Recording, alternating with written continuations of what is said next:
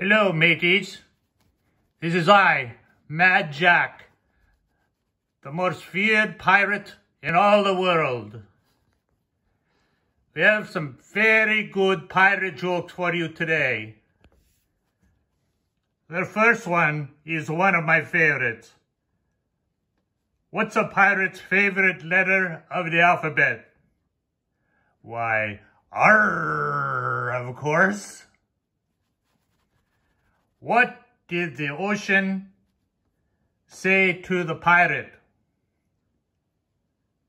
Why, nothing, of course. It just waved.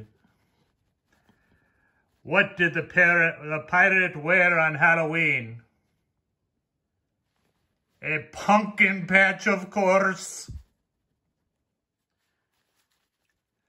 What subject are pirates best at? Why, art, of course.